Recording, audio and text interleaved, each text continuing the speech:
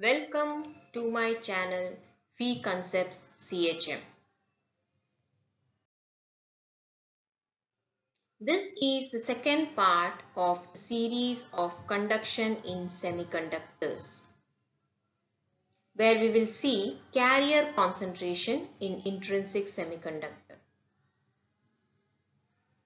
and we will derive the electron concentration and the hole concentration. Carrier concentration in intrinsic semiconductor. At room temperature, a small fraction of valence electrons are thermally excited to the conduction band and an equal number of holes are created in the valence band.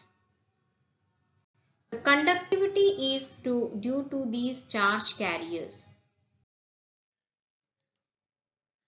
Electron concentration. Assuming that the upper limit for energy as infinity in the conduction band, we will write down the concentration of electrons is equal to the integration of Z of EdE into F of E with the limits from EC to infinity. Equation 1. The Fermi distribution function is given as f of E is equal to 1 upon 1 plus e raised to e minus ef upon kt.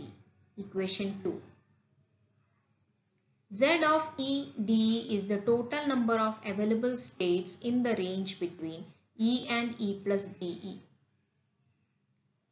Hence, Z of E dE is equal to pi by 2 into 8ma square by h square the whole raised to 3 by 2 into e raised to half dE which can be written as 4 pi by h cube into 2m the whole raised to 3 by 2 e raised to half dE. Here the energy E can be written as E minus EC where EC is the bottom of the conduction band.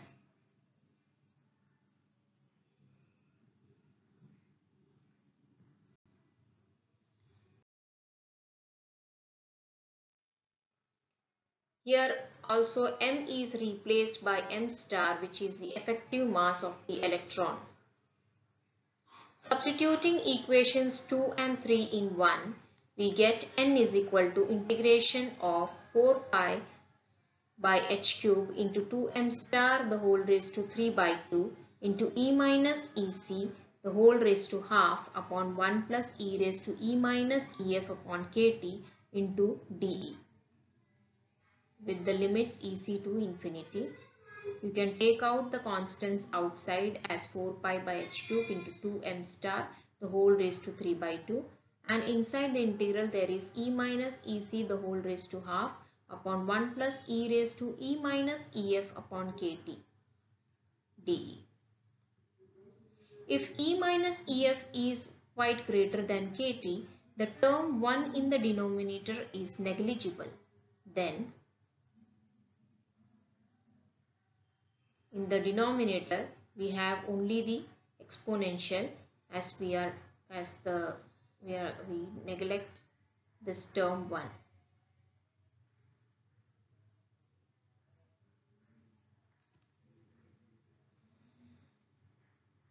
then we take this exponential to the numerator. So this becomes e raised to ef minus e into kt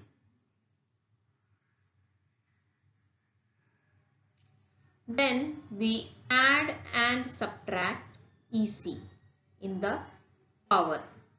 So here we have subtracted EC and here we have added EC.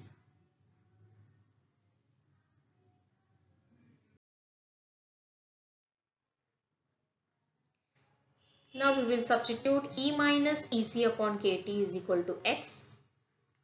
E minus EC can be written as X into KT Differentiate this equation. EC is a constant. So, dE is equal to KT into dx. Also, the limits will change. As for E is equal to EC, the limit will be x is equal to 0 and for e is equal to infinity we substitute in this equation. Or maybe in this equation we can substitute. We will get x is equal to infinity and also e minus ec the whole raised to half is equal to x raised to half into kt raised to half from this equation. Substituting these in equation 3 we get this is the same constant outside the integral. And then inside the integral now the limit will change. This is 0 to infinity. So 0 to infinity inside the integral we have to make the substitutions that will be x raised to half into kt raised to half e raised to minus x e raised to ef minus ec upon kt into kt dx. Again this exponential e raised to ef minus ec by kt we can take outside the integral. So what remains inside the integral is x raised to half into e raised to minus x dx. This kt raised to half and into kt is also taken outside. They are constant. We will use the standard integral formula that is integration of x raised to half into e raised to minus ex dx with limits 0 to infinity is equal to pi raised to half or root pi upon 2.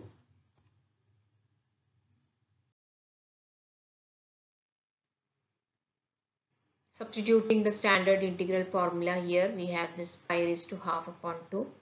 Rest remains the same.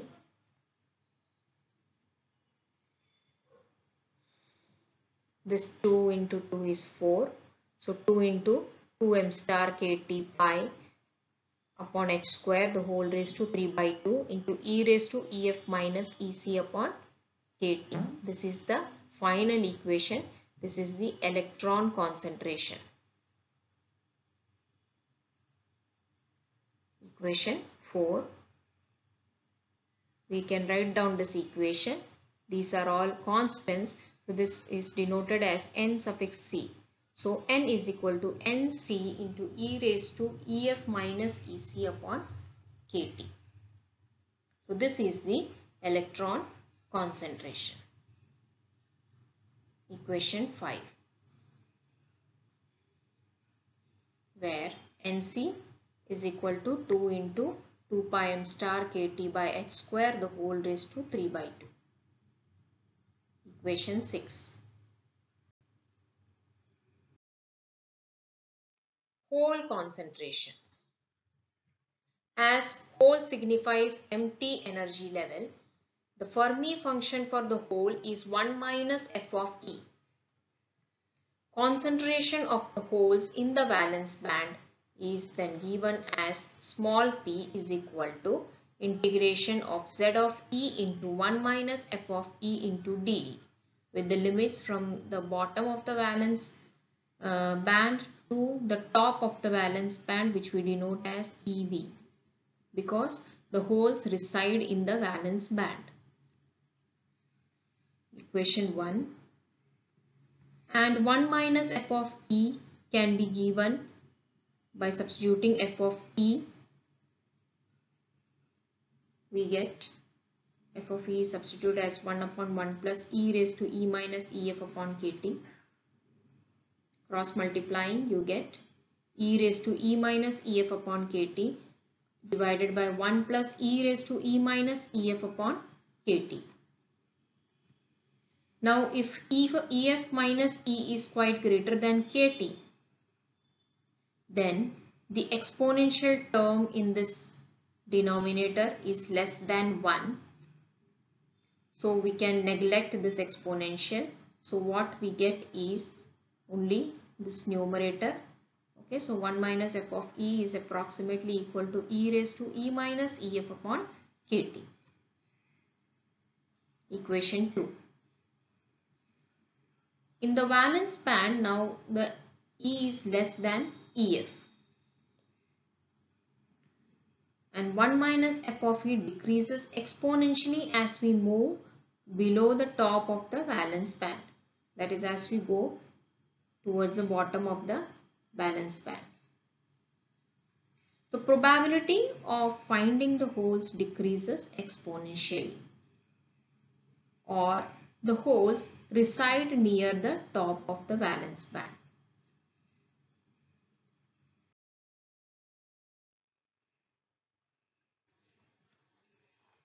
So Z of ED is equal to 4 pi by h cube into 2m star the whole raised to 3 by 2 into EV minus E the whole raised to half D. EV is the top of the valence band.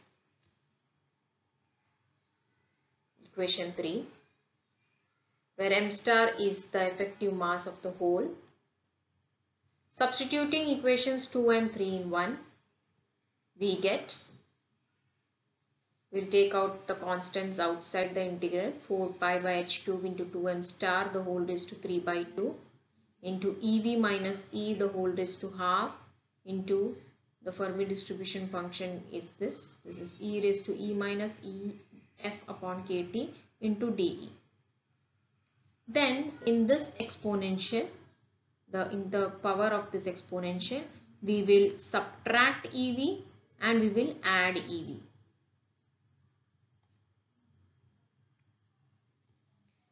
Then we'll make a substitution that EV minus E upon KT is equal to X. We can take KT on this side. So EV minus E is equal to X into KT. Differentiating this equation, EV is a constant. So this is minus DE is equal to KT, by, KT dx. The limits will also change. For E is equal to minus infinity, substituting in this equation, you will get x is equal to infinity and for E is equal to EV this will be x is equal to 0. Also from this equation EV minus E the whole raised to half is equal to x raised to half into KT raised to half. So by substituting everything in this integral the constants are not written here only the uh, terms inside the integral is given so that will be minus of the integral. Minus comes from this. So x raised to half into kt raised to half e raised to minus x into kt dx and the limits is from infinity to 0.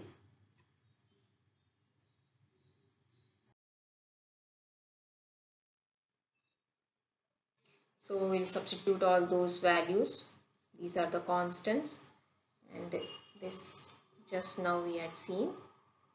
So we get the standard integral x raised to half into e raised to minus x dx with limits from 0 to infinity. Okay, uh, here the limits are inverted. First we had got the limits as infinity uh, to 0. So we have inverted and we are also we had a minus sign outside the integral. So we invert the limits. So that minus will become plus and uh, the limits will become 0 to infinity. Now we will use the standard integral, the same standard integral that we had seen. This is pi raised to half upon 2 that is substituted here. Pi raised to half by 2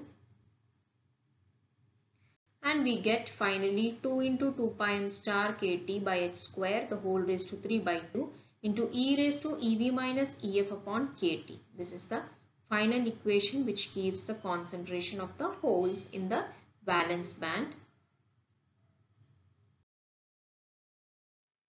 Now we can substitute for the constant, we'll take it as n suffix v. So p is equal to nv into e raised to ev minus ef upon kt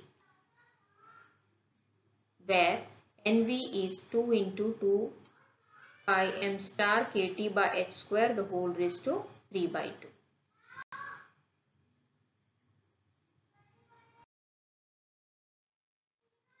Thank you for watching my video.